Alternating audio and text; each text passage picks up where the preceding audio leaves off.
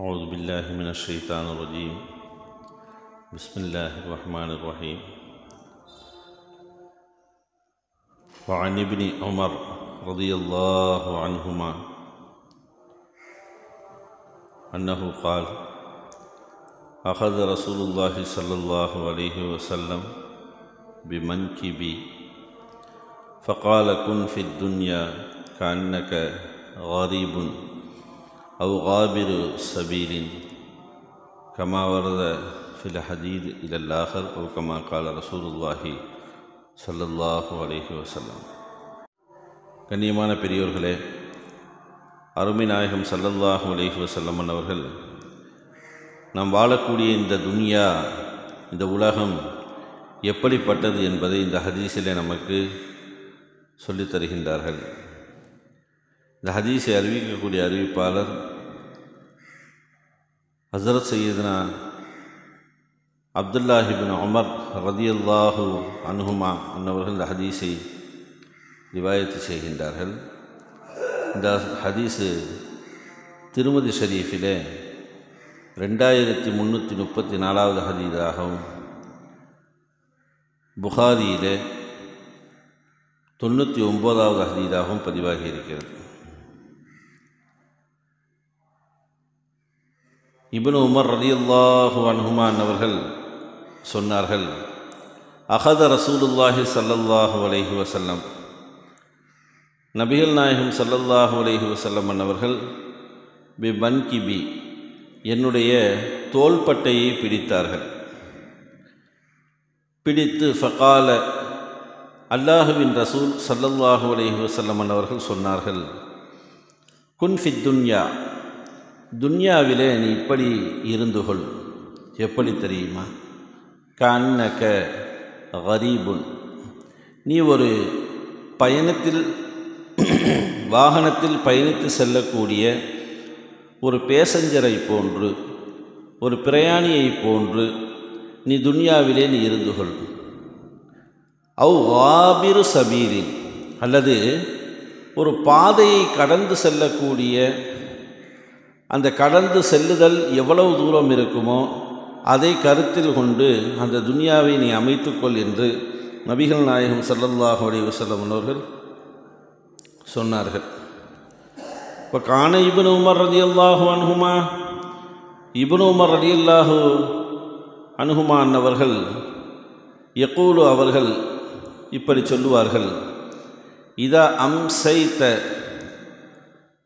மாலை நேரம் வந்து விட்டால் ஃபலா தந்ததிரி சபாக நீ காலையை நீ எதிர்பார்த்து அமர வேண்டாம்.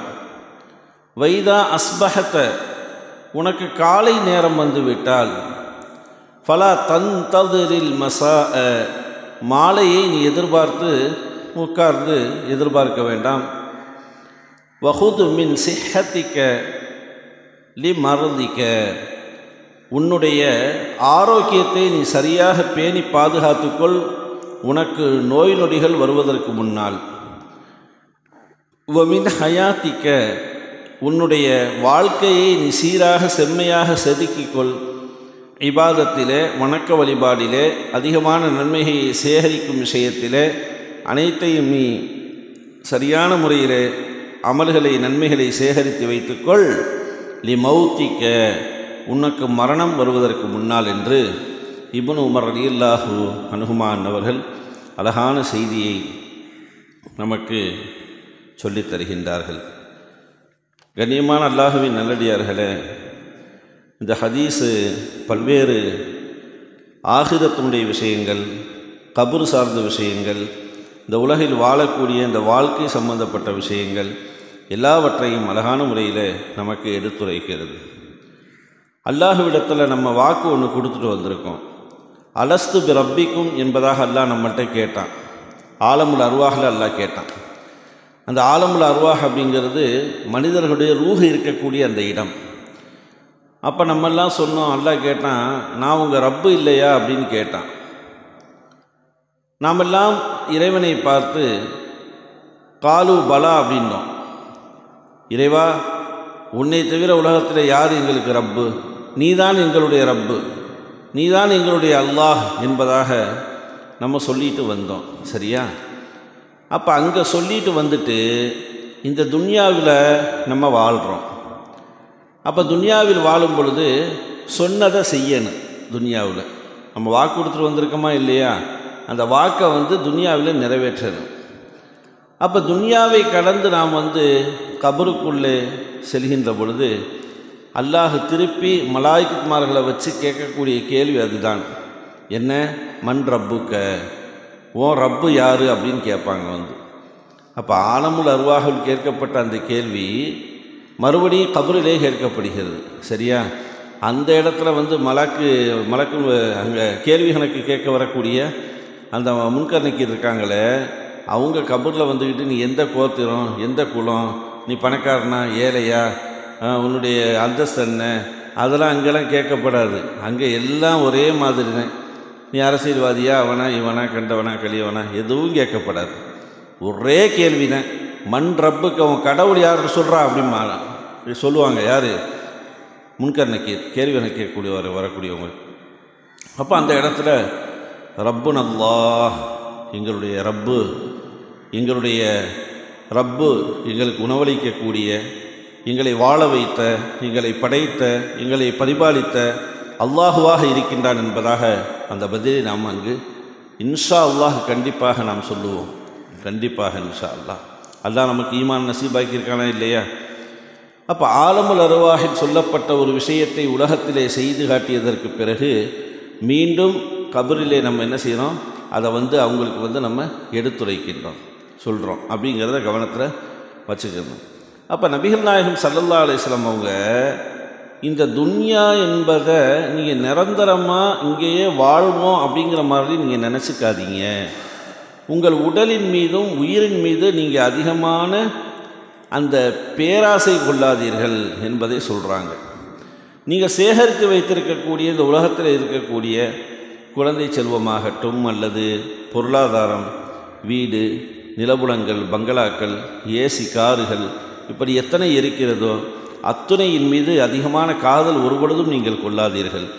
அல்லாஹுவின் மீது நீங்கள் அதிகம் நேசம் வையுங்கள் என்பதை ரசூ சல்லா அலிஸ்லம் அழகான உதாரணத்தின் மூலியமாக நமக்கு சொல்லித் தர்றாங்க. ஒரு பயணத்திலே செல்லக்கூடிய ஒரு பேசஞ்சர் ஒரு பிரயாணி அவர் பஸ்ஸிலே ஏறியதற்கு பிறகு அந்த பஸ்ஸிலேயே நான் மௌத்தா போகிற வரை இருப்பேன் அப்படின்னு சொல்லுவாரா? சொல்ல மாட்டார். அவர் ஊர் வந்தவொடனே இறங்கி போயிடுவார். ஒரு ட்ரெயினாக இருக்கட்டும் ஃப்ளைட்டாக இருக்கட்டும் பயணம் செய்யக்கூடிய வாகனம் எதுவாக இருக்கட்டும் அந்தந்த எல்லைகள் நம்ம சென்றடையக்கூடிய அந்த இடம் வந்து விட்டால் அதோடு நம்ம இறங்கி போயிடுவோம். அல்லது ஒரு ரோட்டை கிராஸ் பண்ணி போகிறோம் இங்கேருந்து ஒரு ஹைவே ரோடு இருக்குது அதை நம்ம கிராஸ் பண்ணி போகும் பொழுது எவ்வளவு தூரம் இருக்குமோ அந்த கிராஸ் பண்ணக்கூடிய அந்த நேரம் கடந்து செல்லக்கூடிய அந்த நேரம் அவ்வளவுதான் உங்களுக்கு அல்லாஹ் இந்த வாழ்க்கையை உங்களுக்கு அமைத்து கொடுத்திருக்கின்றான். அந்த வாழ்க்கையை மிக சரியாக செம்மையாக நீங்கள் வாழ்ந்து கொள்ளுங்கள் என்பதை அருவிநாயகம் சல்லல்லாஹ் அலைஹி வசலமன் அவர்கள் சொல்லித் தருகின்றார்கள். காரணம் அல்லாஹை அல்லாஹ் நம்மளை கடைசி உம்மத்தாக அல்லாஹ் நம்மை அனுப்பியிருக்கின்றான். முதல் உம்மத்தில் அல்லாஹ் நம்மளை வைக்கலை. கொஞ்சம் எண்ணி பாருங்களேன். ஆதம் அலையாம் உம்மத்தில் நம்ம பிறந்திருந்தோம்னு வைங்க. மூசா அலையாம் அல்லது வந்து நூஹ் அலையாம் உம்மத்தில் நம்ம பிறந்திருந்தா ரொம்ப நேரம் ரொம்ப நாள் கபருக்குள்ளே கிடக்கணும். ஏன்? ஆதம் அலையாத்துக்கு பின்னாடி நூஹ் அலையாம் அதுக்கு பின்னாடி ஷீஸ் அலையாம் அதுக்கு பின்னாடி வரிசையாக ஒரு லட்சத்திற்கும் மேற்பட்ட நபிமார்கள் உலகத்துக்கு வருவாங்க. அப்போ அவங்க தாவா பணி செய்வாங்க தௌஹீதை எடுத்துரைப்பாங்க. அது வரைக்கும் நம்ம எங்கே இருக்கணும்?